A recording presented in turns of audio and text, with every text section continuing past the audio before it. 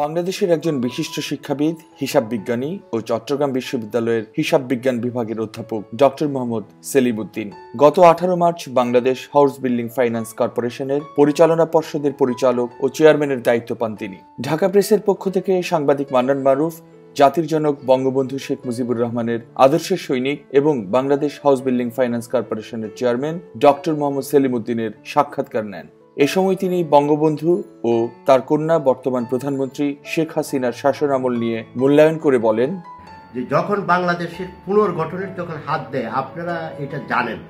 আমরা যদিও ভালো করে এগুলি মনে না রাখি, ইতিহাস থেকে আমরা পড়েছি, আসলে কোনো কানাখড়ি ছিল না। সমস্ত এই দেশটাকে বিভিন্ন রিসার্চের মধ্যে শুধু এটাই বলেছিল যে একটা আর্ট কোয়ার্ক হলে আমি স্বাধীনতার যুদ্ধে কি কি ক্ষয়ক্ষতি হয়েছিল, এটা সমস্ত বর্ণনা দেওয়া আমার দ্বারা সম্ভব নয়। শুধু এটাই বলব, একটা দেশে যদি আট, দশ রিটার স্কেলে যখন ভূমিকম্প হয়, ঠিক এরকম একটা দেশ ছিল। সেই দেশে বঙ্গবন্ধু তখন কিন্তু সারা ওয়ার্ল্ডের বঙ্গবন্ধু, সেই স্কুল লাইফ থেকে তার রাজনৈতিক জীবনে সারা ওয়ার্ল্ড তাকে চিনত। যে এই বঙ্গবন্ধুর হাতে যখন এটা পড়বে, এই দেশকে উনি সোনার বাংলা করে তুলবে। যখন আসলে একটা প্রেক্ষাপট আমি শুধু আপনাকে বলব।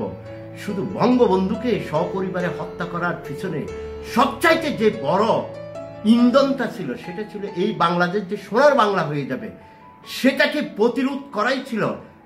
স্বাধীনতা যুদ্ধের যারা বিরোধী ছিল, তারাই আসলে এটাকে ইন্ধন করেছে। যাক, আপনার মূল কোয়েশ্চেনে আমি ফেরত আসি সেই কোয়েশ্চেনটা হচ্ছে অনেক আবেগময়। সেই বঙ্গবন্ধু আসলে তখন আমরা যে আজকে সাস্টেইনেবল ডেভেলপমেন্ট গোল বলি বঙ্গবন্ধু সেই জাতিসংঘ থেকে আরম্ভ করে সব জায়গায় বলছে যে আমাদের ক্ষুধা, ক্ষুধামুক্ত বাংলাদেশ চাই। আমাদের কলকারখানায় উৎপাদন চাই, দুর্নীতি বন্ধ চাই। আমি আপনাকে বলব যে দুই হাজার পনেরো সালে সাস্টেইনেবল গোল যে ইউনাইটেড নেশন এর আগে এমডিজি এগুলি সব কিন্তু তার কথার আলোকেই কিন্তু সূত্রপাত। বঙ্গবন্ধু অ্যাট দ্যাট টাইমে যে প্ল্যানিংগুলো ন্যাশনাল প্ল্যান বাজেট এবং যে ফ্রেমওয়ার্কগুলি তৈরি করে গিয়েছিল, আপনি বলছেন যে আজকের আমাদের মাননীয় প্রধানমন্ত্রী জননেত্রী শেখ হাসিনার আমলের এটার সাথে যদি তুলনা করতে, আমি বলব নাইনটি সিক্সে ক্ষমতা আসার পর এবং এগেইন টু থাউজেন্ড আটে আসার পর, আপনি দেখবেন যে বাংলাদেশকে অন্যান্য উন্নয়নের সাথে আমি তুলনা করব না। শুধু ন্যাশনাল প্ল্যানিংয়ে মানে long term short term planning পারস্পেক্টিভে আপনি দেখবেন যে এই যে টোয়েন্টি টোয়েন্টি ওয়ান এবং টোয়েন্টি ফর্টি ওয়ান এবং fifth five five years plan perspective ten years perspective plan অর্থাৎ উনি সমস্ত দেশের উন্নয়ন তো চোখে পড়তেছে, এই উন্নয়নকে গ্র্যাপ করার জন্য যে ন্যাশনাল যে পরিকল্পনাগুলি নিয়েছেন সবগুলো কিন্তু বঙ্গবন্ধুর সেই দেখানো পথেই যে একদিন ক্ষুদা এখান থেকে যাবে সোনার বাংলা গড়ে তুলবে। এই একটা মূল মন্ত্রকেই কেন্দ্র করে সমস্ত এই যে প্ল্যানগুলি হয়েছে, এই প্ল্যানের আওতায় নাইনটি সিক্সের ক্ষমতায় আমরা বলব যে জননেত্রী শেখ হাসিনা বাংলাদেশের আরেকবার জন্ম দিয়েছে ফাউন্ডেশন এবং দুই হাজার আট থেকে এটা বেড়ে বেড়ে বেড়ে বেড়ে উঠতেছে। এবং আপনি জানেন এখন সেই বাজেট সাড়ে চার লক্ষ কোটি টাকা পার হয়ে গেছে, যেটা গত কয়েক কয়েক বছরে চার গুণ হয়ে গেছে। এবং আমাদের জিডিপির পরিমাণ এখন আর্থিক মূল্য ধরতে গেলে বাইশ লক্ষ, তেইশ লক্ষ কোটি টাকা এটাকে মানে অলরেডি ক্রস করে ফেলছে।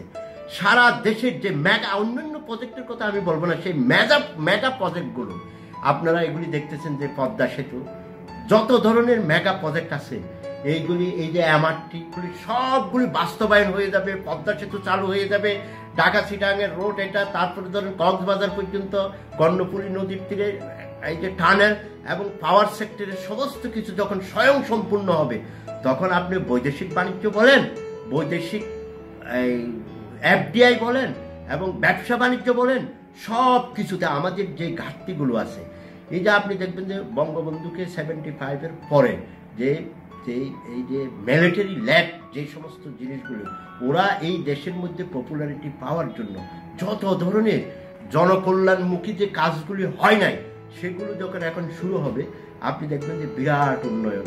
আমরা যে টোয়েন্টি টোয়েন্টি ওয়ান এবং আমরা যে দুই হাজার একচল্লিশ সালের মধ্যে উন্নত দেশের পথে হাঁটছি এবং আমরা এই যে জাতিসংঘ কর্তৃক দেওয়া আরেকটা মিলিনিয়াম ডেভেলপমেন্ট যেমন আমরা অনেক কি বলব, এটাকে ইমপ্লিমেন্টেশনে আমরা লিডার ছিলাম। এবং আমরা ওয়ান অফ দ্য লিডার ছিলাম। আমরা আশা করি যে এই যে এসডিজি যেটা, এই এসডিজিটা দেখেন সেভেন ফাইভ ইয়ার প্ল্যানের সাথে আমরা মার্চ করে ফেলছি এবং পার্সপেক্টিভ প্ল্যানের সাথে মার্চ করে ফেলছি।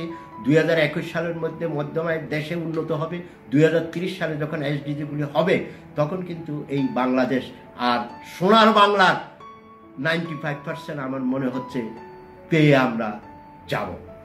তাইলে মূল যে আমরা যে আপনার যে কোয়েশ্চান বঙ্গবন্ধুর সেই দর্শন, বঙ্গবন্ধুর যে সোনার বাংলা করার স্বপ্ন, যে সমস্ত বীজ উনি বপন করে গিয়েছিলেন, দুই হাজার সেভেন নাইনটিন নাইনটি সিক্সে জননেত্রী শেখ হাসিনা এগুলি বীজ বপন করেছিলেন, দুই আট থেকে আমরা এগুলো এখন ফসলগুলি ঘরে আনতেছি। এখন ঘরে আনতেছি এখনও আমাদের অপেক্ষা করতে হবে এবং এই সরকারে যদি আপনি দেখবেন যে এই সরকারের যদি মেয়াদ যদি আরেকবার যদি আমার কাছে মনে হয় যে এটা আমার পার্সোনাল ফিলিংস যদি মানে আরেকবার যদি ক্ষমতায় থাকতে পারে, এই যে সমস্ত কর্মযোগ্য উন্নয়ন, এগুলো যদি আমরা সমাপ্ত করতে পারি, আমাদের ফসলগুলো এইটটি পার্সেন্ট ফসল আমাদের ঘরে আসা আরম্ভ হবে। মানুষের মুখে হাসি পড়বে ক্ষুদা নিবারণ হবে।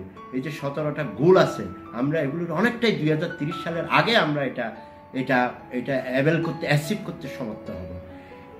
এটাই আমার আসলে বর্তমান সরকারের এবং বঙ্গবন্ধু সরকারের মধ্যে এটাই নিয়ে এটাই হচ্ছে তার থ্যাংক ইউ